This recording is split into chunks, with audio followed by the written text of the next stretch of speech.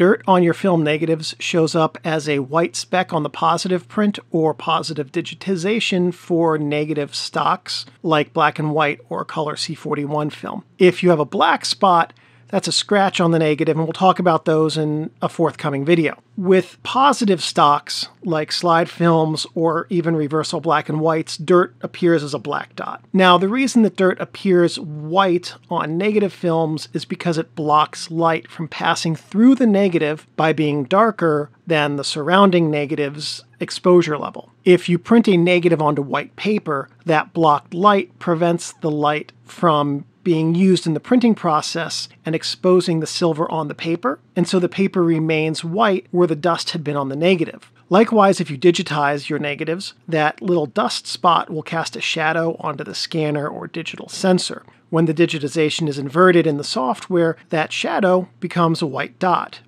Dust on negatives can be reduced by proper processing quality control. That's the way to get rid of it. If dust gets onto the negative emulsion while it's still wet before it's dried, that dust is in the negative emulsion. You can try to re-soak it and re-rinse it, but generally that doesn't do an effective job of getting rid of the dust. So here are some steps that can reduce or possibly even eliminate dust from getting onto your negatives. Use something like Photo-Flo in your final rinse. I don't use Photo-Flo, but I will use a mild detergent and then distilled water for the final rinse. Dry your negatives quickly. The faster they dry, the less time they have for dust to get attracted to them. To do that, you can dry them in a cabinet with a low wattage incandescent bulb at the base of the cabinet. Because heat rises, putting the bulb at the top wouldn't do anything. The heat from that bulb then helps the film to dry out more quickly.